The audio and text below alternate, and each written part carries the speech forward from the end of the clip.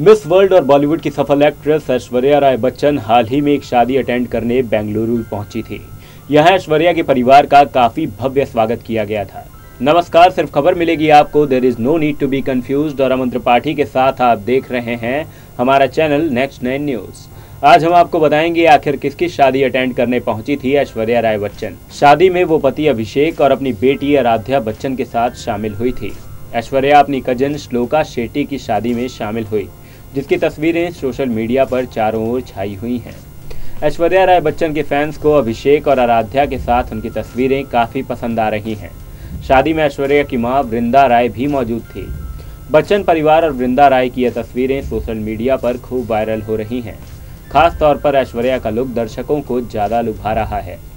बच्चन परिवार ने पारंपरिक वेशभूषा धारण की है। तस्वीरों में हम देख सकते हैं कि ऐश्वर्या राय और अभिषेक बच्चन ने शादी से पहले के एक समारोह में पेस्टल कलर की पोशाक पहनी है। वहीं आराध्या ने लाल रंग का नारकली सूट पहना है, जिसमें वो बेहद सुंदर और क्यूट लग रही हैं।